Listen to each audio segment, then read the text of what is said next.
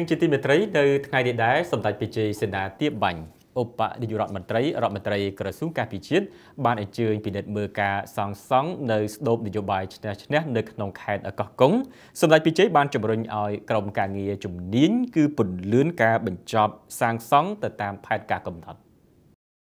ក្នុងពិធីបញ្ចប់ការចាក់បេតុងជ្រុង3នៃស្ដូបនយោបាយឈ្នះឈ្នះសម្ដេចព្រះជ័យសេនាទាបាញ់ឧបនាយករដ្ឋមន្ត្រីនិងជារដ្ឋមន្ត្រីក្រសួងការពិជាតិ បានប្រាប់ដល់ក្រុមការងារពន្លឿនការងារដែលនៅសេសសល់ឲ្យបញ្ចប់ជាស្ថាពរនៅពេលខាងមុខទៅតាមផែនការកំណត់សម្ដេចព្រះជ័យសេនាបានបញ្ជាក់ថាស្ដុំនយោបាយឈ្នះឈ្នះដែលកំពុងកសាងនេះជាវត្ថុតាងសំខាន់មួយជាគ្រឹះស្ថានអប់រំប្រវត្តិសាស្ត្រវប្បធម៌និងបម្រើដល់វិស័យទេសចរកំសាន្តដោយទៅអនាគតពលរដ្ឋគ្រប់រូបត្រូវតែចងចាំនិងការពារឲ្យបានគង់វង្សសម្ដេចព្រះជ័យសេនាបានលើកឡើងអំពីសំណង់វិមាននយោបាយឈ្នះឈ្នះនៅរាជធានីភ្នំពេញថា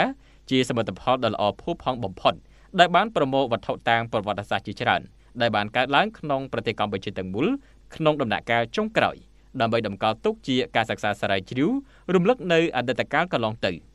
អាយដាមប៊ុនលឺតប្រធានអនុគណៈកម្មការសង្សង់ស្ដុំនយោបាយឈ្នះឈ្នះខេត្តកោះកុងបានដឹងថាមកទល់នឹងថ្ងៃនេះការងារដែលសម្រេចបានរួមមានចាក់បេតុងកម្រាលប្លង់ស៊ីនិងធ្នឹមកម្ពស់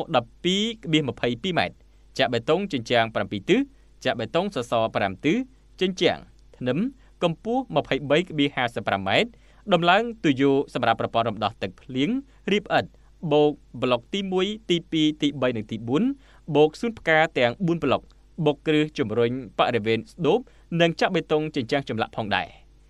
អាយដាមបានបញ្ជាក់បន្ថែមថាការងារជំវិញស្ដូប10ម៉ែត្រសម្រាប់បានចាក់ជញ្ជាំងអាងទឹកព្រមទាំងចាក់ជ្រីលើអាងទឹកផងដែរ។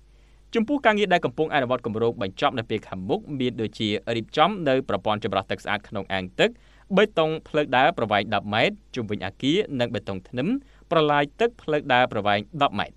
ទាក់ទិនទៅនឹងសមិទ្ធផលខ្លឹមសារនិងចម្លាក់ថ្មអំពីតំបន់ប្រវត្តិសាស្ត្រយោធាមានរៀបចំជាផ្ទាំងសិលាទាំង8ជាចិន្តាចិន្តានិងតាមជំហានជំហាន។